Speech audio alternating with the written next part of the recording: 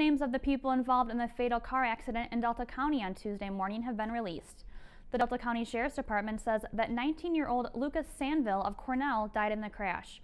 The teenager was the passenger in a pickup truck driven by his father, 47-year-old Ronald, Ronald Sandville.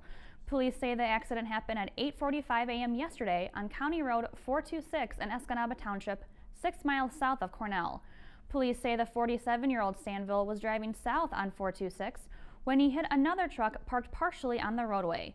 The 19-year-old Sandville died on impact, and the elder Sandville was taken to OSF St. Francis Hospital for treatment of a head injury. He is listed in good condition. No one was inside the parked truck. Rampart EMS, the Township Fire Department, and Michigan State Police all assisted at the scene.